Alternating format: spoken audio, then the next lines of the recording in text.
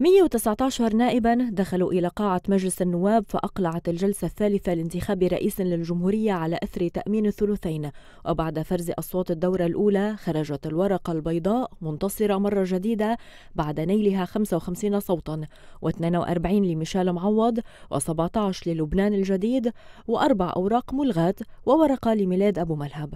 فور انتهاء عملية الفرز فقد نصاب ال 86 نائبا وبقي 77 وبالتالي لم تحصل تحصل الدورة الثانية وأجلت الجلسة إلى الاثنين المقبل. إذا بتريدوا كل واحد محله فينا نعد إذا بتريدوا. في نصاب. فرطوا النصاب. أستاذ سليم عون ما بدكم تمارسوا العملية الديمقراطية ولا خلصت هلا؟ مين مين عم يحكي؟ العرس الديمقراطي. هيدا مارك عم يحكي؟ مارك داو. وينه ما محضر الجلسة.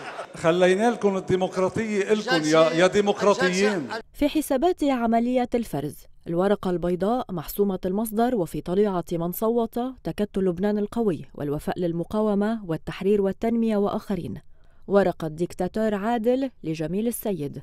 لا أحد لأسامة سعد لأجل لبنان لكريم كبارة. سيادة إنقاذ إصلاحي لميشيل الدويهي الذي يغرد للمرة الأولى خارج سرب التغييريين. وصوت لميلاد أبو ملهب.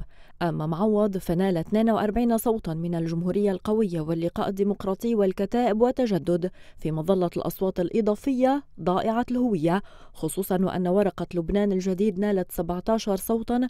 قال الاعتدال الوطني وبعض نواب بيروت وصيدا وتكتل نواب التغيير أنهم عشرة أشخاص صوتوا بهذا المنحى مع غياب سينتيا زرازير والياس جرادي هنا تضاربت المعلومات فمصادر التغييريين قالت إن نواب الاعتدال أعطوا صوتهم لمعوض. في وقت قالت مصادر الاعتدال إن صوتين من التغييريين أضيفوا إلى مجموعة معوض. هذا كان في الشكل أما في المضمون فالانقسام برز اليوم أكثر من أي وقت مضى مع تصويب السهام والاتهام من قبل القوات والاشتراكي أي من صوت لمعوض بوجه النواب السبعة عشر. عندما يأتي تأتي مجموعة مبعثرة من المعارضة تفوت فرصة الإجماع على المعارضة هذا أمر غير صحي وغير مفيد وهذا أمر يتلاقى مع إرادة التعطيل تماما. التغيير ما بيصير بكب اسم بكل استحقاق وبوصول نهار اسم فلان ونهار رمزية فلان ونهار بنوصل بدنا نحط اسم بصير هيدا الاسم عم يتراجعنا إنه دخيلكم ما تحطوني تما أحترق. مش هيك بصير التغيير. إذا نحن حقيقة بدنا نعمل تغيير بدنا بداية نجمع المعارضة. ما بقى فيكم تكونوا محتارين. أنتوا لو اليوم كنتوا مع ميشيل معوض كنتوا قادرين توصلوا لل 65 وتوصلوا رئيس جمهورية. ما تيجوا تلاقوا لحالكم أعذار. أنتوا التنين لازم تحسموا أمركم. كثرة الاجتماعات وتنقية أسامي جديدة ما بتوصل لمحل. عم تضلوا تخيبوا أمل القوات والاشتراكية ما عم بتكونوا معهم وعم يعتبروا حالهم إنه أنتم هيدا واحد هيدا واحد من هيدا واحد من الإنجازات اللي عم نعملها مخيبين مخيبين أمال كلهم يعني. نحن نحن نحن بدنا نحسن أمان لبنان واللبنانية. ما جايين هون؟ كرمال امال الكتل كأنه هالتغييريين بيتحملوا كل مصايب البلد وكل مشاكله.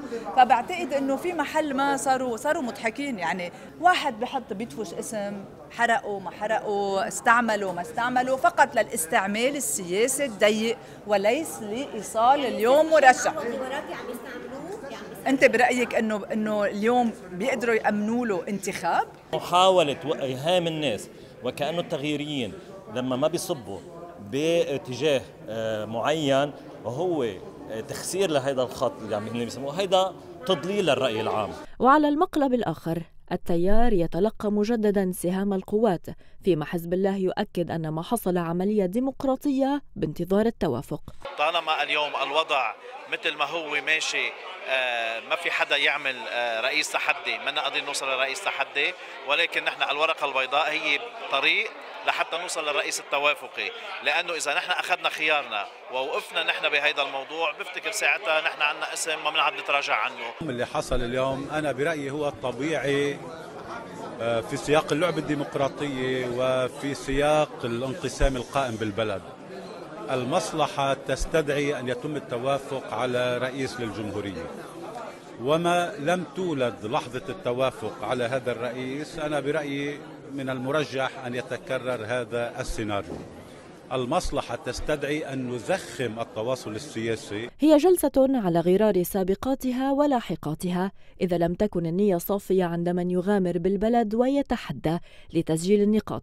في وقت يعرف الجميع أن لا أحد يملك الأكثرية ليتمكن من الإتيان برئيس للجمهورية والسبيل الوحيد هو الحوار والتواصل وهذا ما يرفضه فريق علنا كالقوات مع أو بدون معرفة النتائج المترتبة على هذا التصرف يقول مراقبون.